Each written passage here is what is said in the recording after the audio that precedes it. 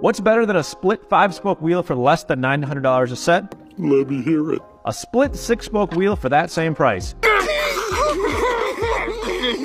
And this split six spoke wheel looks great on just about any JDM car, from MR2s to RX7s, with sizes from 17 by 8 to 19 by 10.5 and offsets ranging from plus 22 to plus 38.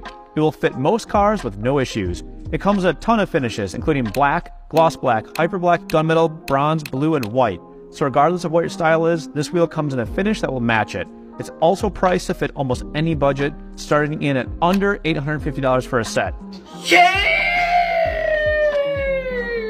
This wheel is the Avid One AV20, you can find them at FitmentIndustries.com.